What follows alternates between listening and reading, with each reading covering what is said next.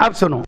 Addition and multiplication पढ़ने के बाद, एक लौती आखिरी चीज़ जो प्रोबेबिलिटी के अंदर बची है, वो है प्रोबेबिलिटी कंसेप्ट वाइज बहुत छोटा चैप्टर है, क्योंकि इसके अंदर चार ही चीज़ें पढ़नी होती हैं। Classical definition set theory addition multiplication and Bayes theorem बस। इसके अलावा प्रोबेबिलिटी में कुछ नहीं है। लेकिन इसके अंदर क्वेश्चन एक से एक बन जाते हैं। एक्चुअली प्रोबेबिलिटी जो पंची थ्योरी है वो अपन परमुटेशन कॉम्बिनेशन में ऑलरेडी पढ़ चुके होते हैं। तो इसलिए। हाँ तो इसलिए अब हम आखिरी चीज़ पढ़ने आ रहे हैं, बेस थ्योरम बेस थ्योरम पर बहुत ज़्यादा ध्यान देना है। बेस थ्योरम है बहुत आसान सी। जैसे मैं समझाऊँगा, वैसे समझेंगे तो अगले एक मिनट में ही आप बेस थ्योरम में एक्सपर्ट हो जाएँगे। अब सुनिए ध्यान से बेस थ्योरम बेस थ्योरम देखिए, अभी दो मिनट कलम वलम नीचे रख के सुन लीजिए, क्योंकि एक बार इसकी थ्योरी क्लियर हो गई तो बात बन जाएगी। अब तक हम लोग क्या करते चले आए हैं? अब तक हमको कोई ना कोई एक्सपेरिमेंटल सेटअप दे रखा था कि भाई ये बॉक्स है, इसमें बॉल पड़ी है, या डाइस फेंकी जा रही है, या घोड़े दौड़ रहे हैं। अब तक हम क्या करते थे? पहले जरा उसको एक बार सुन लें।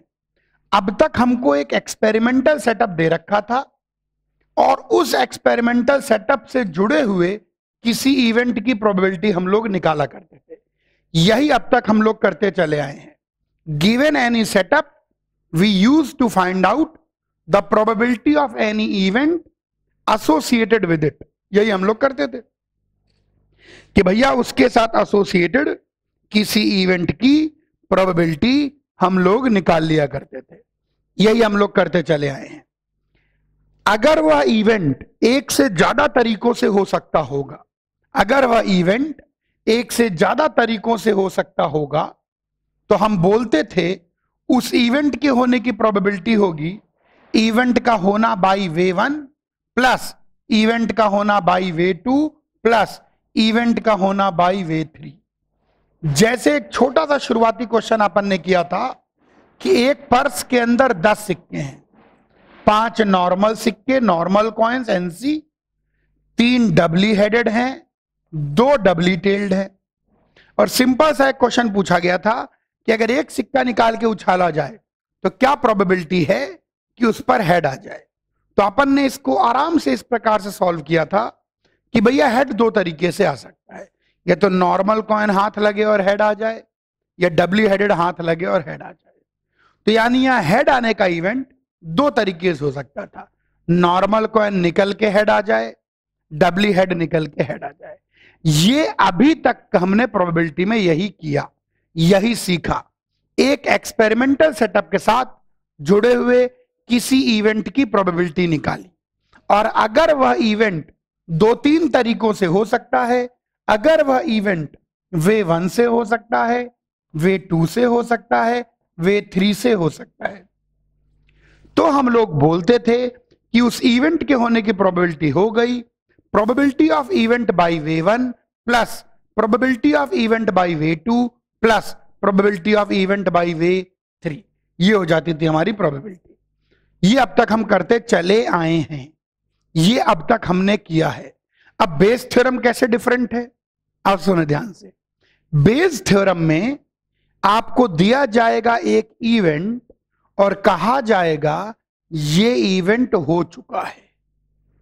और वो जो इवेंट होगा, वो एक से ज़्यादा तरीकों से हो सकता होगा। और आपसे पूछा जाएगा कि अगर ये इवेंट हुआ है तो क्या संभावना है कि ये वे वन से हुआ हो? या क्या संभावना है कि ये वे टू से हुआ हो? या क्या संभावना है कि ये वे थ्री से हुआ हो? बेज थ्योरम में इवेंट की प्रोबेबिलिटी नहीं निकालनी, बल्कि आपको कहा जाएगा कि ये इवेंट है जो हो चुका है। There is an event which has already happened and that particular event can happen in a number of ways and you will be asked what is the probability that the event happened by way 1 or the event happened by way 2 ये है। Bayes theorem में event की probability नहीं निकाली जाती। एक event होगा, वो हो चुका होगा, और वह इवेंट कई तरीकों से हो सकता होगा। तो आपसे पूछा जाएगा कि यदि ये इवेंट हो चुका है तो क्या संभावना है कि ये पहले तरीके से हुआ हो? या क्या संभावना है कि ये दूसरे तरीके से हुआ हो? एंड सो ऑन ये अंतर है अब तक जो पढ़ा और अब जो पढ़ने जा रहे हैं। आखिरी कंसेप्ट है छोटा सा है और मैं जैसे बताऊँगा, जीवन में कभी इसका सवाल गलत होगा ही नहीं। अब सुनो ध्यान से। जैसे यहीं पर, इसी को लेते हैं। अगर मैं आपसे पूछूँ, एक सिक्का निकाल के उछाला और वो हेड आ गया। एक सिक्का निकाल के उछाला और वो हेड आ गया। तो क्या संभावना है कि निकला हुआ सिक्का नॉर्मल कॉइन हो? या क्या संभावना है कि निकला हुआ सिक्का डबली हेडेड हो? बेस थ्योरम में यह पूछा जाएगा। एक बार फिर दोहरा देता हूँ। बेस थ्योरम में इवेंट की प्रोबेबिलिटी नहीं पूछी जाती बल्कि एक इवेंट होगा जो कि ऑलरेडी ऑकर कर चुका होगा। There will be an event which has already occurred and that particular event could occur या can occur in a number of ways and you will be asked that if that event has occurred, what is the probability it has occurred by V1? If that event has occurred, what is the probability? That it has occurred by V2? Or if that event has occurred, what is the probability that it has occurred by V3? जैसे इसी question के अंदर सिक्का निकाल के उछालते हैं और वो हेड आता है। तो क्या संभावना है कि नॉर्मल सिक्का निकला हो? क्या संभावना है कि डब्ल्यू हेडेड निकला हो? ये सवाल है। ये हो गया अब तक की प्रोबेबिलिटी और बेस थ्योरम में अंतर। आखिरी कंसेप्ट है सिर्फ़ सुनना सुनना है। ये तो हो गया अंतर। अब हम समझ गए कि रियल में अब क्या होने वाला है।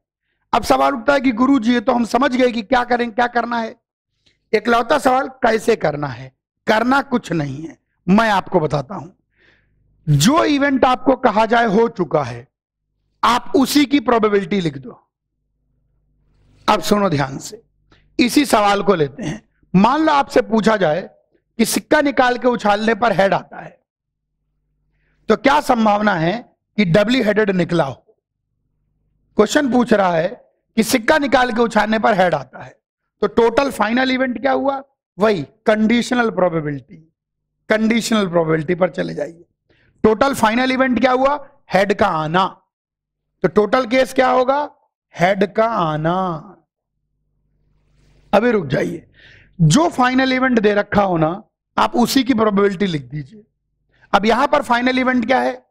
इस क्वेश्चन में हमको पूछा जा रहा है, यदि सिक्का निकाल के उछालने पर हेड आता है तो क्या संभावना है कि वो सिक्का डब्ल्यू हेडेड निकला हो?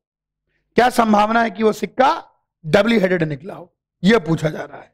चलो देखते हैं, सुनो ध्यान से। फाइनल इवेंट क्या हुआ? हेड का आना। तो आप तो हेड के आने की प्रोबेबिलिटी लिखिए हेड कैसे कैसे आ सकता है? नॉर्मल सिक्का निकले और हेड दिखा दे, या डब्ल्यू हेडेड निकले और हेड दिखा दे? जो फाइनल इवेंट हुआ वह आपका टोटल हो गया और उसी के अंदर आपका फेवरेबल पार्ट भी आ गया। अरे रे। और उसी के अंदर आपका फेवरेबल पार्ट भी आ जाता है। हाँ आ गया। फेवरेबल अपॉन टोटल क्योंकि फेवरेबल पार्ट क्या है? डब्ल्यू हेडेड से हेड का आना। और टोटल क्या है? हेड का आना। बस खत्म। बेस थ्योरम ओवर इतना ही करना है। जिस इवेंट की प्रोबेबिलिटी आपको दे रखी हो कि ये हो चुका है आप उसी इवेंट की प्रोबेबिलिटी लिख दो। उसके अंदर आपका फेवरेबल वे भी दिख जाएगा और टोटल वे भी दिख जाएगा। और आपका आंसर आ जाएगा फेवरेबल अपॉन टोटल क्योंकि फाइनल इवेंट क्या बोला? हेड आया। तो और कुछ तो आया ही नहीं तो टोटल और फेवरेबल क्या हुआ? डब्ल्यू हेडेड से हेड का आना।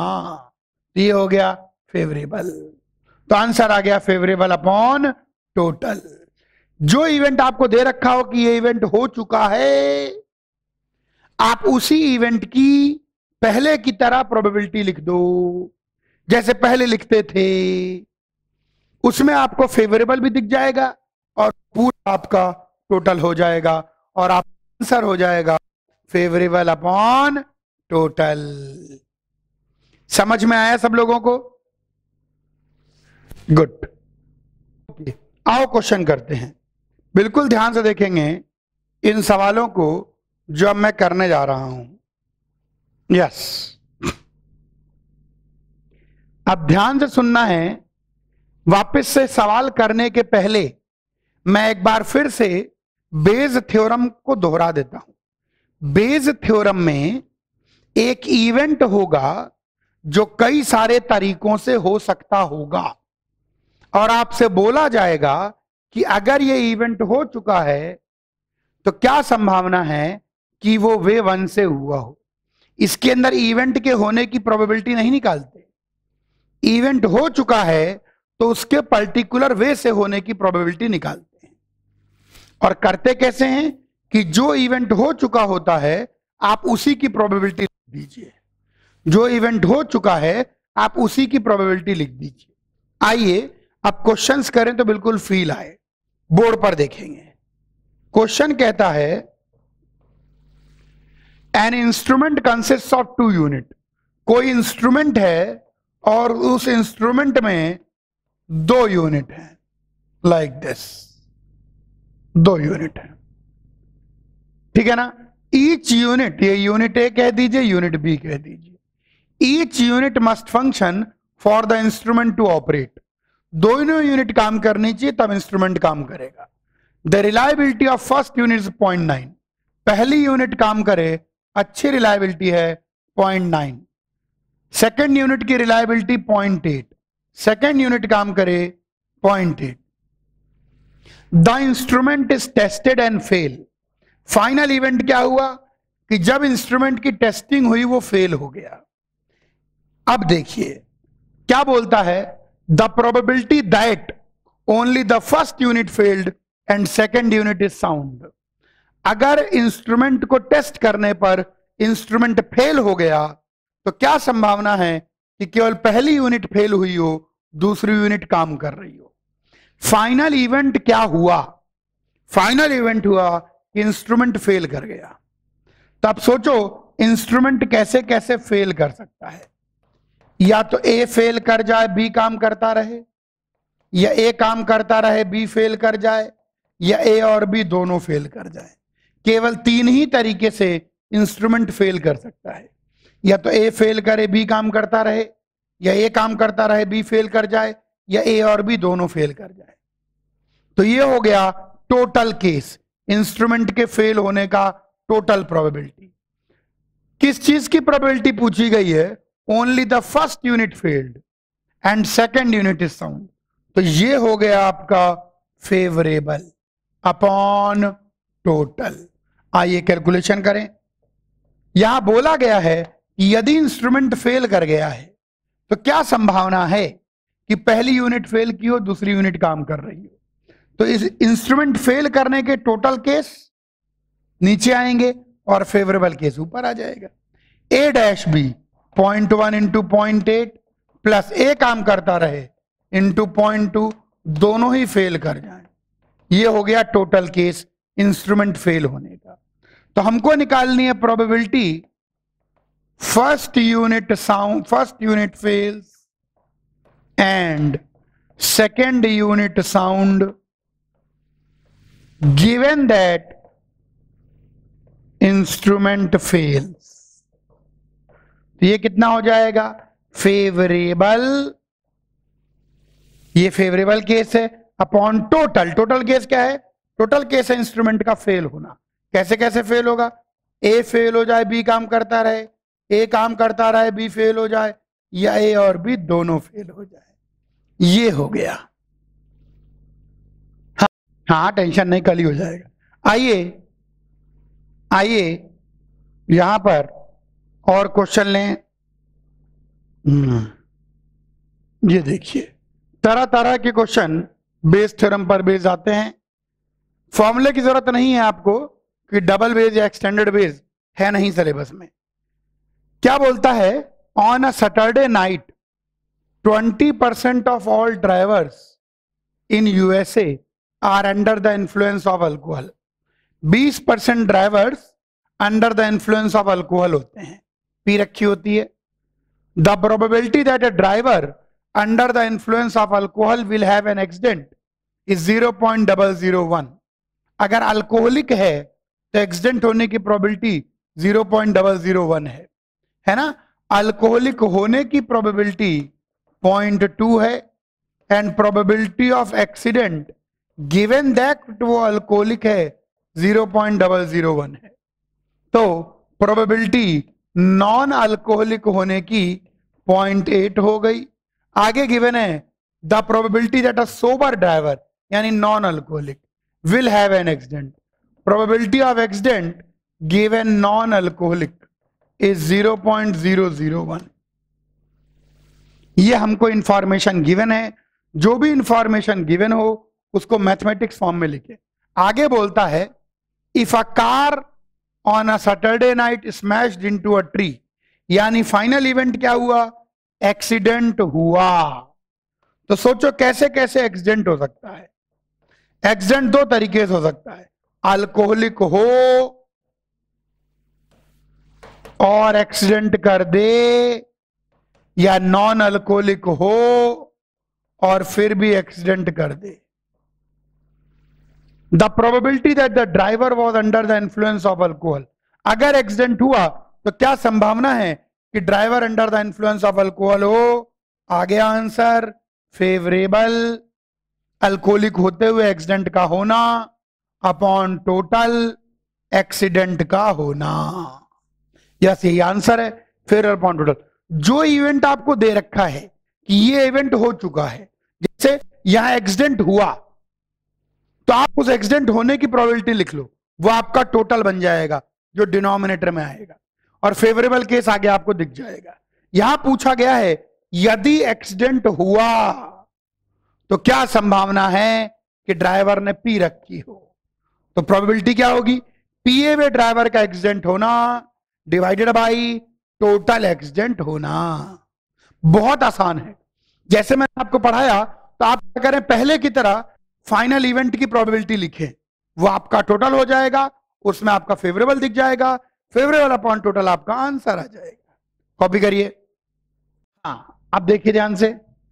बेस थ्योरम पर अपन काफ़ी सारे सवाल लगाएँगे और बेस थ्योरम भी एडिशन एंड मल्टीप्लीकेशन की तरह ही है। इसमें क्या सवाल तरह तरह के प्रपंची होते हैं। कंसेप्ट तो सिंपल ही होता है। आइए इस सवाल को देखें। बहुत अच्छा क्वेश्चन है आईटी में आया हुआ क्वेश्चन है। क्वेश्चन क्या कहता है? There are four balls in a bag bag है और बैग के अंदर चार बॉल्स हैं। एक, दो, तीन, चार। बैग के अंदर चार बॉल्स हैं। But it is not known of what colour they are लेकिन ये पता नहीं है कि उनका रंग क्या है। ध्यान से सुनिएगा क्वेश्चन को। ध्यान से। बैग के अंदर चार बॉल्स हैं। ऐसे बैग बंद है। चार बॉल हैं अंदर। लेकिन हमको यह नहीं पता कि उनका रंग क्या है। आगे बोलता है one ball is drawn and found to be white क्या हुआ फाइनल इवेंट एक बॉल निकाली गई और वो वाइट निकली। अब आप सोचो, जो फाइनल इवेंट हुआ, उसी की प्रोबेबिलिटी लिखनी होती है। तो probability one ball drawn is white अब मेरी बात सुनना है ध्यान से। यहाँ पर लगाना है दिमाग। मेरे हाथ में एक बैग है जिसमें चार अलग अलग रंग की बॉलें हैं। एक बॉल सफ़ेद निकली। मैंने निकाली, एक बॉल सफ़ेद निकली। सोचो क्या हो सकता है।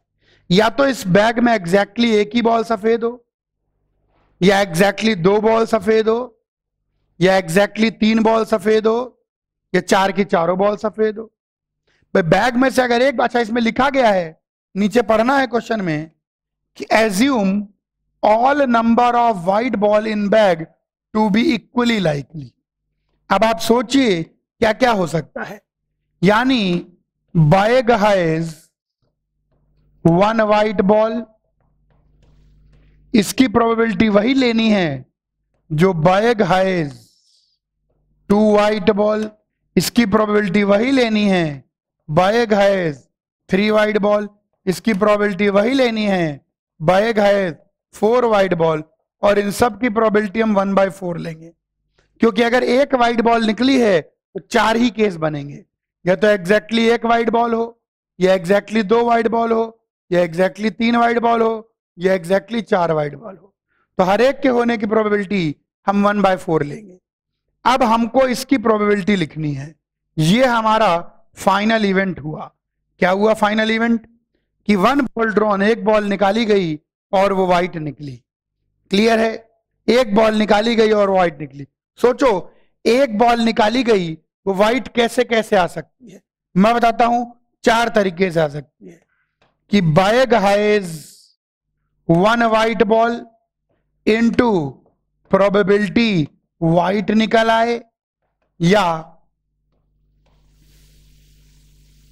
या bag has two white ball into white निकल आए, plus probability bag has three white ball into white निकल आए, या bag has four white ball into white निकल आए।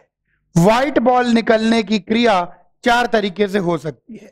बैग में एक ही व्हाइट और व्हाइट निकल आए या बैग में दो व्हाइट और व्हाइट निकल आए या बैग में तीन व्हाइट और व्हाइट निकल आए या बैग में चारों बॉल व्हाइट और व्हाइट निकल आए आइए लिखें, बैग में एक ही व्हाइट बॉल हो इनटू व्हाइट बॉल निकले प्लस बैग में दो व्हाइट बॉल हो इनटू व्हाइट बॉल निकले।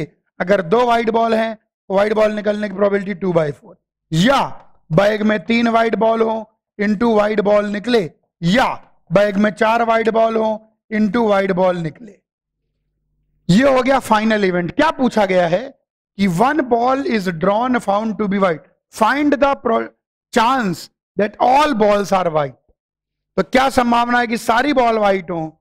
Favourable upon total white ball का निकलना टोटल है और चारों बॉल व्हाइट हो तो व्हाइट बॉल का निकलना फेवरेबल है।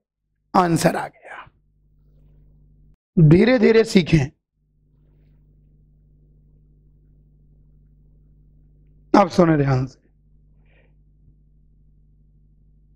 ये देखिए। और क्वेश्चंस को देखिए। ध्यान देखिए क्वेश्चन को। है ना? यस क्वेश्चन क्या कहता है? A letter is known to have come either from London और क्लिफ्टन बड़े बड़े लोग हैं और पुराना समय की बात है। आजकल तो सब फ़ोन ही कर लेते हैं। लंडन या Clifton C L I F T O N या तो लेटर लंदन से आया है क्लिफ्टन से आया है। लेकिन लेटर के ऊपर सब कुछ मिट गया है, इतनी दूर से आया है कि केवल ओ एन ही विजिबल है। बस ओ एन दिख रहा है। बोलता है, क्या चांस है कि लेटर लंदन से आया हो? आओ देखते हैं।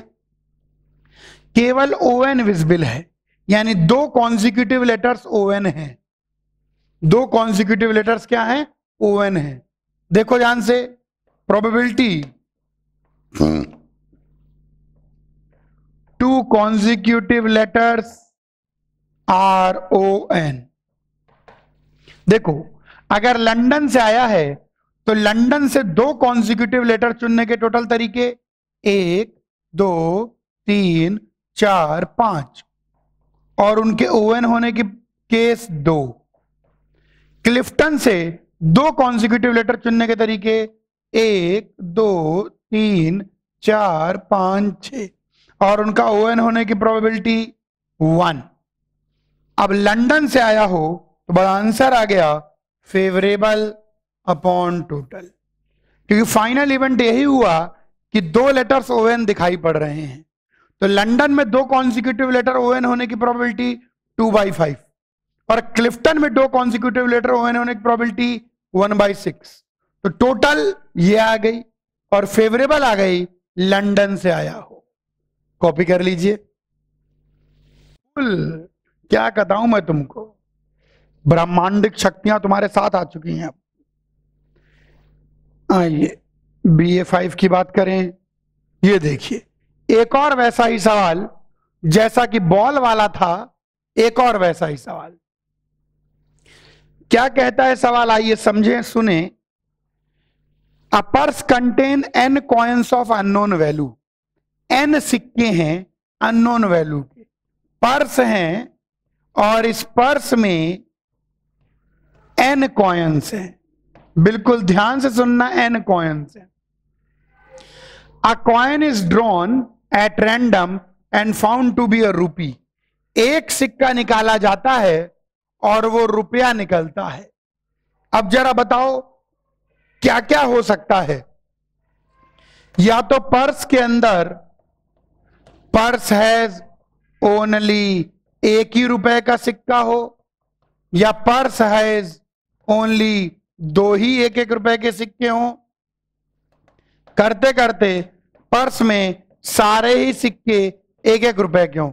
आगे यहाँ पर फिर वही चीज़ बोली गई है assume all number of rupee coins in bag to be equally likely तो एक एक रुपए का, हर एक की प्रोबेबिलिटी कितनी रहेगी one by N one by N की हो जाएगी? टोटल एन केसेस बन रहे हैं। एक रुपए का एक ही सिक्का हो। सोचो, पर्स के अंदर एन सिक्के हैं। अब तो मेरे ख्याल से आपका खोपड़ी भी चल रही होगी। पर्स के अंदर एन सिक्के हैं। एक सिक्का निकाला जाता है, वो रुपया निकलता है। तो सोचो, पर्स के बारे में क्या कह सकते हैं? एक रुपए का एक ही सिक्का हो, एक रुपए के दो सिक्के हो, एक रुपए के तीन सिक्के हो या एक रुपए के एन सिक्के हो। तो कुल मिला के पर्स के अंदर सिक्कों के कितने केस बने? एन केसेस बन गए।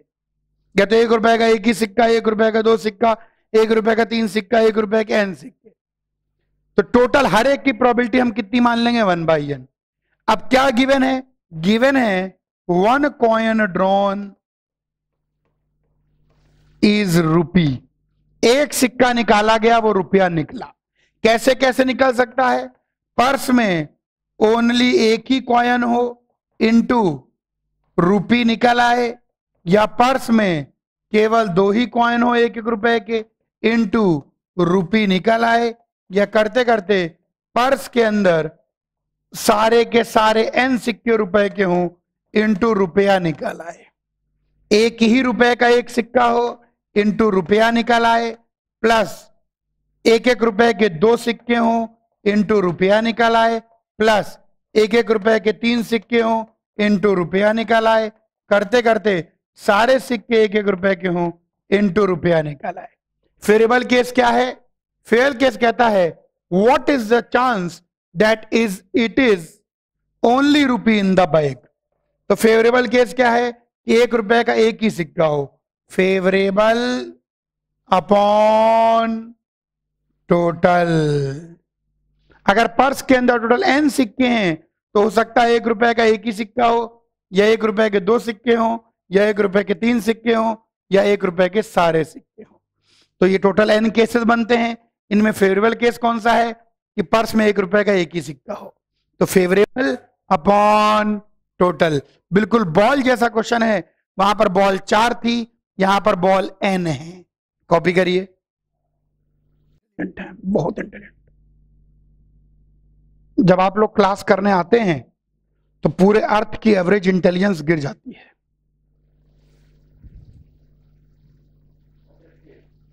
गिर जाती है ना? सारे बच्चे इस क्लास में आ गए तो बचे हुए अर्थ की एवरेज इंटेलिजेंस गिर गई ना? ये कर लिया अपन ने। तो पाँच सवाल अपन ने कर लिए, छठे सवाल पर आ जाइए। बहुत अच्छा क्वेश्चन बिल्कुल ध्यान देना है। बराबर बराबर करेंगे, ज़्यादा क्वेश्चन नहीं है, लेकिन इलस्ट्रेशन के बिना काम बनता नहीं है। क्वेश्चन कहता है A and B are two inaccurate mathematicians arithmeticians A and B जो थोड़े इन एक्यूरेट से अर्थमेटिशियन है कभी कभी सवाल सही करते हैं और कभी कभी गलत कर देते हैं, इसीलिए inaccurate arithmeticians whose chance of solving a question correctly A one by eight तो ए सही सॉल्व करे, इसकी प्रोबेबिलिटी वन बाई एट है, और बी सही सॉल्व करे इसकी प्रोबेबिलिटी वन बाई ट्वेल्व है। आगे बोलता है they solve a problem and obtain the same result दोनों ने प्रॉब्लम सॉल्व की और सेम रिज़ल्ट मिला। यहाँ पर एक गजब की इंफॉर्मेशन दे रखी है। अब सुनो मेरी बात को। मैथ में कैसे कैसे सेम रिज़ल्ट मिल सकता है? या तो दोनों सही करें, या दोनों गलत करें और एक ही गलती करें।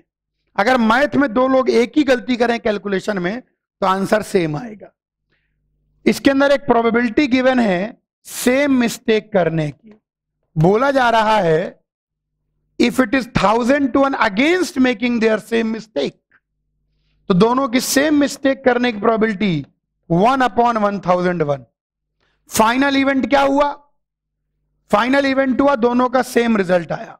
सोचो, दोनों का सेम रिज़ल्ट कैसे कैसे आ सकता है? या तो दोनों के दोनों ने करेक्टली सॉल्व किया हो, या both solved wrong and made same mistake देखो, ध्यान रखना, दोनों के गलत करने से आंसर सेम नहीं आएगा, क्योंकि हो सकता है दो लोग गलत करें और एक का आंसर टू आ जाए, एक का आंसर थ्री आ जाए। दोनों गलत करें और एक ही गलती करें।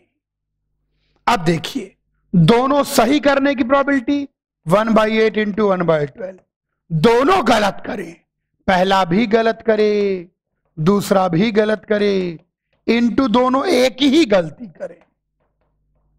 ये लीजिए, ये हो गई सेम रिज़ल्ट आने की प्रोबेबिलिटी तो फाइनली पूछ रहा है find the chance that the result is correct तो फेवरेबल अपॉन टोटल अगर दोनों का सेम आंसर आया है तो क्या संभावना है कि उत्तर सही हो? तो फेवरेबल अपॉन टोटल क्योंकि सेम उत्तर आने के दो ही केस होंगे। या तो दोनों सही करें, या दोनों गलत करें और एक ही गलती करें। कॉपी करिए। चलिए। नेक्स्ट क्वेश्चन की बात करते हैं। B A five B S six B S seven ये लीजिए। चाय कॉफ़ी का क्वेश्चन चाय कॉफ़ी की बात करनी पड़ रही है।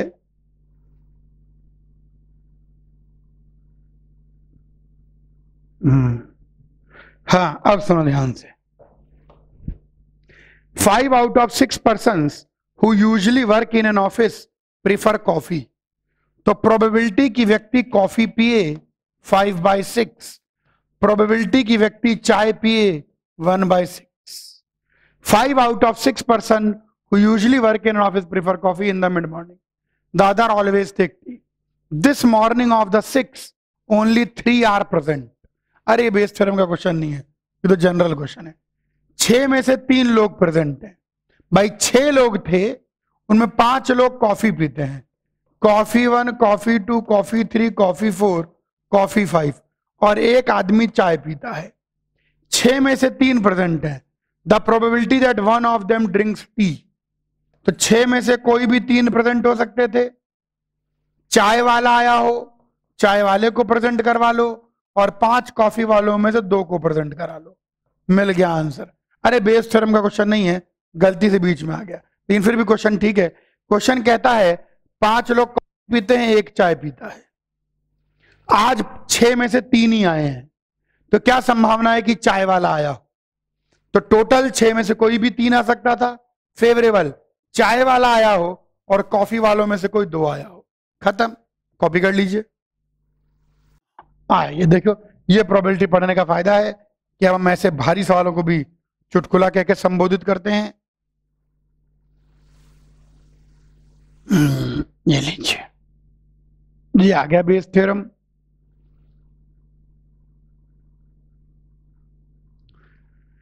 ओके, आइए देखें इसको पाल्स गार्डनर एक आदमी है पाल, उसने गार्डनर है Paul's gardener is not dependable, भरोसेमंद नहीं है the probability he will forget to water the rose bush is 2 by 3. Probability of forget to water is 2 by 3. So probability waters is 1 by 3. Paul ने gardener पाल रखा है, वो भी बिल्कुल भरोसेमंद नहीं है।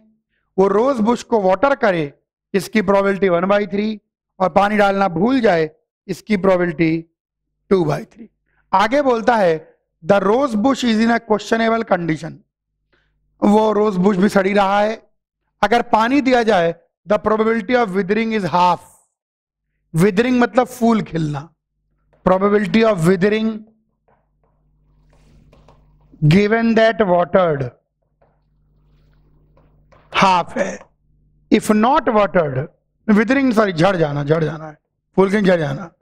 Probability of withering given that not watered is three by four अगर पानी डाला गया विदरिंग का मतलब झड़ना झड़ना.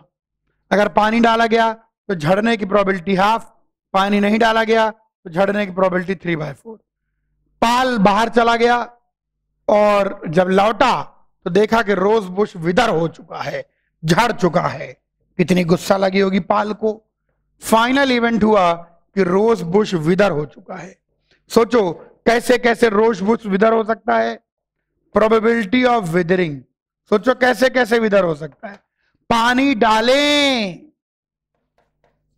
फिर भी विदर हो जाए। या पानी ना डालें, फिर भी विदर हो जाए। भाई, दो ही तरीके हैं इसके अंदर। पानी डालें और फिर भी झड़ जाए, या पानी ना डालें, फिर भी झड़ जाए। पानी डालें और फिर भी झड़ जाए, या पानी ना डालें और फिर भी झड़ जाए। What is the probability that the gardener did not water the rose bush क्या संभावना है कि पानी नहीं डाला है? तो पानी ना डालना two by three favourable upon total उसके झड़ने की टोटल प्रोबेबिलिटी और फेवरेबल केस में झड़ने की प्रोबेबिलिटी तो फेवरेबल अपॉन टोटल कॉपी कर लीजिए। और सवाल देखें। बिल्कुल ध्यान देंगे सवालों पर। जो है गया Paul's gardener B A nine yes वाह। गजब का क्वेश्चन इतना बड़ा क्वेश्चन है, पढ़ते पढ़ते ही शाम हो जाए। Mr Dupont is a professional wine taster. तो मिस्टर ड्यूपॉन्ट जो है, प्रोफेशनल वाइन टेस्टर हैं। वो वाइन को टेस्ट करके बताते हैं कि कहाँ की वाइन है। When given a French wine he will identified with probability point nine तो फ्रेंच को फ्रेंच बोलने की प्रोबेबिलिटी पॉइंट नाइन है। Given French says French point nine correctly French wine will mistake it for Californian wine probability given French उसको Californian बोल दें point one दोनों wine का टेस्ट एक जैसा रहता होगा या ज़्यादा बार चखने के बाद समझ में नहीं आता होगा। आगे बोलता है when given a Californian wine, he will identified with probability 0.8. Probability of Californian को कैलिफोर्नियन बोलने की पॉइंट एट आगे बोलता है, और मिस्टेक प्रोबेबिलिटी फ्रेंच बोल दें given Californian point two suppose Mr Dupont is given ten unlabelled glasses three with French तो फ्रेंच को उठाएँ, इसकी प्रोबेबिलिटी थ्री बाई टेन है, तीन गिलासों में फ्रेंच वाइन है. And seven with Californian Californian wine उठाएँ, इसकी प्रोबेबिलिटी सेवन बाई टेन है. आगे बोलता है he randomly picks a glass एक गिलास उठाया tries wine and says French final event क्या हुआ? उन्होंने बोला फ्रेंच अब सुनना है, कैसे कैसे वो फ्रेंच बोल सकते हैं? दो ही तरीके से फ्रेंच बोल सकते हैं। फ्रेंच वाइन उठाएँ और फ्रेंच को फ्रेंच बोलें। या कैलिफोर्नियन वाइन उठाएँ और गलती से कैलिफोर्नियन को फ्रेंच बोल दें। बस, यानी फ्रेंच वाइन उठे, इनटू फ्रेंच को फ्रेंच बोलें, या कैलिफोर्नियन वाइन उठे, इनटू कैलिफोर्नियन को फ्रेंच बोल दें। आगे बोलता है, the probability that the wine it taste is Californian. उन्होंने गलती कर दी हो। तो favourable upon total simple copy कर लीजिए।